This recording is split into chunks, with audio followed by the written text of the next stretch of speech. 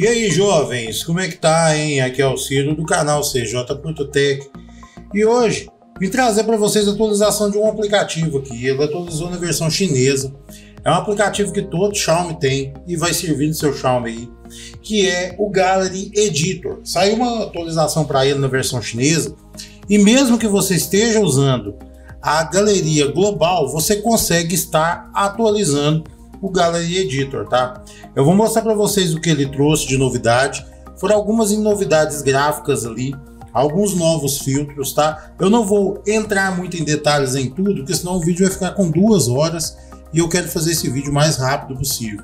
Antes de mais nada, desce aí, se inscreve no canal, dá o like, ativa o sininho para receber as notificações e vamos embora lá para o vídeo. Jovens, o Gallery Editor ele fica oculto dentro do sistema, tá? Eu vou pegar essa foto aqui, certo? E vou é, mostrar para vocês algumas coisas. Por exemplo, eu vou pegar aqui em editar e você já vê aqui algumas mudanças bem interessantes. A primeira mudança aqui é voltar e avançar. Isso aqui, se caso você colocar uma, um filtro, por exemplo, eu vou colocar um filtro qualquer aqui, eu vou colocar esse filtro aqui e vou marcar. Aí ele acende a opção voltar aqui, ó. Pronto. Cliquei, voltei, tá vendo? E aqui avançar para você voltar ao filtro que você tava, certo? Se você tocar na foto, você tem uma prévia de como tava antes e depois do filtro, certo? Aqui na interface, na interface principal aqui, ele tem outra mudança também. Aqui embaixo você tem aqui AI e básico, ou seja, inteligência artificial ou básico, tá? Então, filtros com inteligência artificial, você tem aqui o Erase, que você pode estar tá apagando algumas coisas da foto.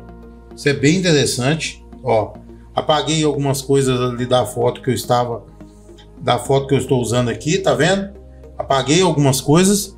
Você tem aqui remover linhas, tá? Que algumas linhas que possam estar aparecendo na sua foto, você consegue removê-las, tá? E aqui, remover pessoas. Por exemplo, eu vou clicar aqui e eu apaguei eu mesmo. tá vendo? Então é interessante esses filtros aí baseados em inteligência artificial. Aqui você tem uma prévia, a mesma prévia que você tem é, quando você tem, por exemplo, uma, você está usando um recurso que você tem que tocar na foto. Aí ele acende essa, essa opção aqui que é uma prévia. Então você colocou ó, e você vê como era a foto antes e depois, tá vendo? Eu vou voltar, vou descartar aqui para a gente mostrar outras coisas. Aqui também a gente tem o filtro de céu, que já é conhecido da galera, tá? E tem o stickers. Nos filtros de céu, agora a gente tem alguns filtros, alguns não, apenas é, esse filtro aqui, que é inteligência artificial, aí Clear Day. Ele vai pegar a sua foto, aqui não tem como, aqui vai ficar tudo vacalhado assim, porque afinal de contas é uma foto que não tem um céu, tá? Então, eu vou ver se eu tenho uma foto com céu aqui. Tenho. Essa foto. Então, por exemplo, eu vou vir aqui em AI, Sky, e aqui Clean Day, tá vendo? Então, ele vai usar inteligência artificial para colocar o melhor céu para a foto que você está usando. Como assim, Ciro? Por exemplo, para não mexer da, de, dessa forma aqui, por exemplo, eu vou pegar essa aqui, ó. E você está vendo que mexe em toda a estrutura da foto? Então essa aqui, com inteligência artificial, ainda é um protótipo, ela vai de, é, mesclar um céu, tá? Melhor para a qualidade da foto que você está usando. Isso aqui eu achei muito legal, isso aqui achei sensacional. Outro recurso que a gente tem aqui também é, aqui a gente tem os filtros de sol, inclusive os dinâmicos, tá? Olha só, ó. Que eu acho, sinceramente, eu acho sensacionais esses filtros dinâmicos. Acho sensacionais mesmo, certo? Vou descartar aqui. E aqui, ó, clicando aqui, a gente tem o básico. Onde a gente tem o básico, a gente tem todas aquelas aquelas funções que a gente já tinha antes. Por exemplo, a gente descrever aqui na foto, tá? É, colocar setas, né? Círculos, Opa, coloquei um círculo aqui, mas o círculo ficou. Tá vendo? Então, a gente tem essas opções, tem a opção de inserir textos, né?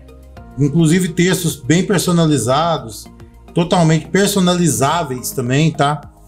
E a gente tem a opção aqui também dos filtros, onde a gente tem além dos filtros de céu aqui também,